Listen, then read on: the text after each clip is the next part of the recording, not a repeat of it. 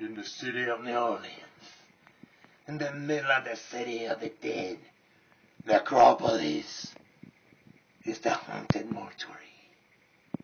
Come and see if you have what it takes to be one of our victims, or die, wondering if you have what it takes to see the freaks and the creatures of the night.